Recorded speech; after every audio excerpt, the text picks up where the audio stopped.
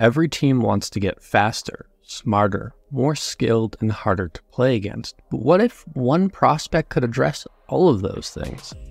Meet Cayden Lindstrom, a 6'4 center that we at Elite Prospects recently ranked as the number 4 prospect for the 2024 NHL Draft. McKenzie, some room. Lindstrom fires and scores! Yes, sir, that's 12 of the!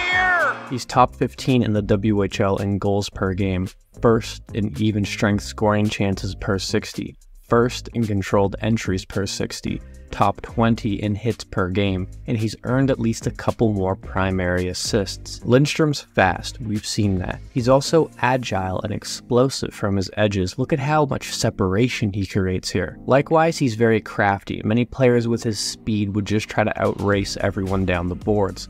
Lindstrom doesn't, taking the puck to the inside whenever possible.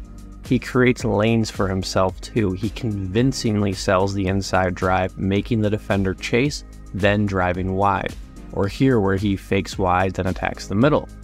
These rushes are special. He's bending the opposition to his will with a combination of intelligence, speed, and skill. He's not a solo player either. He uses his speed to push back the defense before passing to the inside. He's developing more of a give and go style, creating even more shooting opportunities.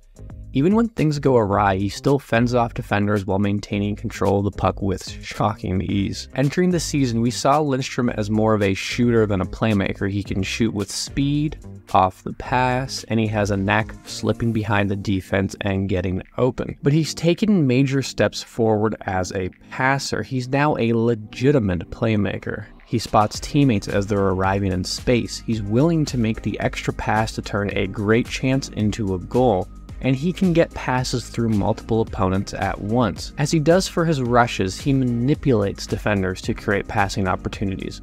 Look at how he uses his route and shot threat to move the defender's stick, creating the lane.